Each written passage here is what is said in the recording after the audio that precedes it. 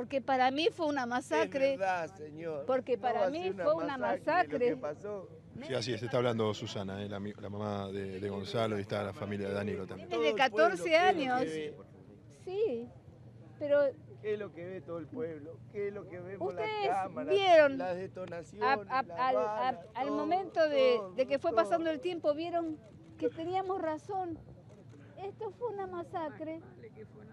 Lo único malo que Y va pasando el tiempo, gordo, va pasando el tiempo. Y se van esclareciendo más van las esclareciendo cosas. Susana, ¿pudieron aclarar eh, quién eh, fue herido de bala pelota. de los chicos de ustedes? todavía no, todavía, Todavía no. todavía Hay no un- sabemos. Decían que era, de claro, decían, decían este, que era una nena, pero no, no, en realidad todavía no se sabe. Este, sacarme esa duda.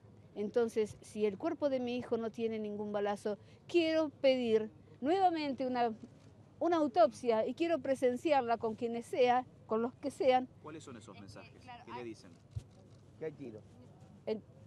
No quiero, no quiero ni recordarlo porque me dolió mucho, así como lo leí, Señor, lo- En lo- la se lo autopsia de mandé. su hijo no figuran disparos.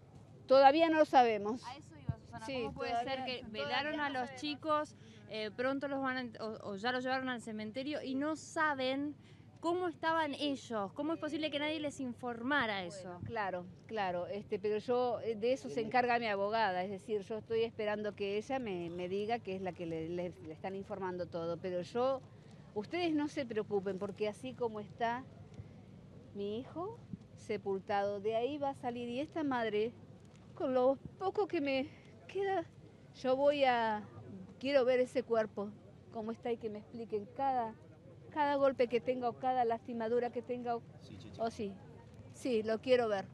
Lo quiero ver porque si la autopsia me dice que él solamente murió por el impacto, yo quiero sacarme, quiero irme de esta tierra, pero quiero irme sabiendo Las de que, del mi- Ministerio de Seguridad, digo, que me explique Dios cómo hago.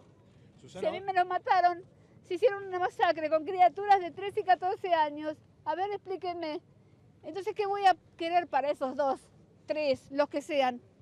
Yo quiero que se mueran. Yo para qué los quiero acá en esta tierra.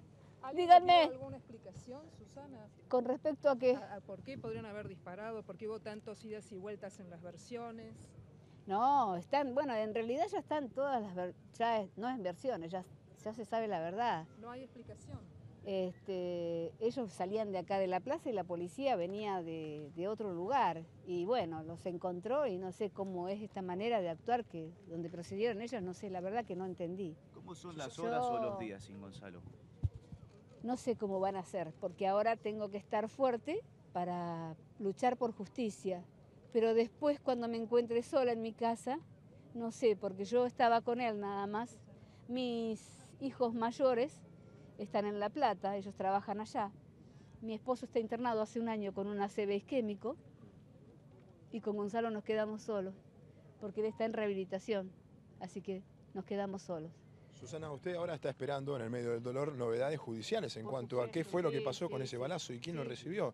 ¿Cuál es el próximo paso que tiene que hacer? Esperando respuestas de quién.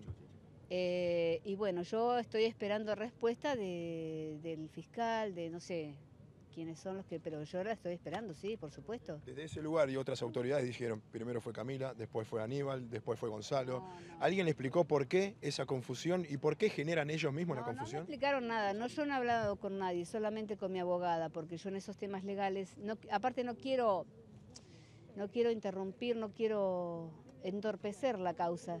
Este, pero yo todo lo que me iban pasando, porque este, no saben lo que es esta comunidad, no saben lo que es. ¿Qué relación tenía Gonzalo, los otros chicos de 13, 14 Sí. años, con el conductor, con Aníbal?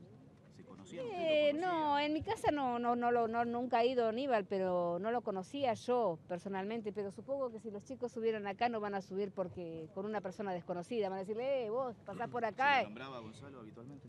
No, no, no, no sé, me ha nombrado, tiene tantos amigos, los chicos tenían tantos amigos que no me puedo acordar el nombre de todos. ¿Cuándo se dio cuenta de que algo raro pasaba, que no era un accidente solamente? Y mirá, en el transcurso de- del mismo día que, me enteré, ya me estaba dando cuenta, por, primero porque como eran, eran criaturas, y cuando hablaban de disparos. Y a estos chicos, a estos nenes, ¿cómo iban a perseguirlos con disparos?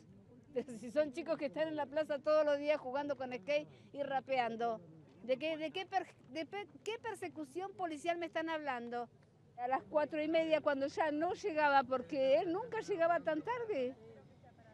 Eh, me levanté y dije, voy a darme una vuelta por el hospital, ¿no será que? Me di una vuelta por el hospital y la guardia estaba llena. Y yo seguí de largo porque no me animé a entrar, porque yo digo, no, no voy a entrar, ¿para qué? Para ver dolor. Y me volví a mi casa, que estoy cerca también del hospital. Cuando me vuelvo a mi casa, dos nenes, amigos, paran en mi casa y yo pensé que era él y me, ya me había vuelto el alma al cuerpo y cuando veo que dieron la vuelta, cuando les pego el grito, dan la vuelta, se me acercan y me dicen, soy la mamá de Gonzalo. Sí, le digo, chicos, ¿qué pasó? Gonzalo está en el hospital. Y ahí les dije, chicos, Gonzalo está vivo. Y no me respondieron más nada. Uno me abrazó y me llevó a la guardia. Y yo, dice, no sé de dónde saqué, no sé de dónde saqué eso. Y entré a la morgue, había cuatro cuerpos. Les dije, destápenme solamente los, los piecitos porque no me quería imaginar eso. Y cuando me destapan los piecitos, eran los pies, las medias, el jean de mi hijo, sus calzoncillitos.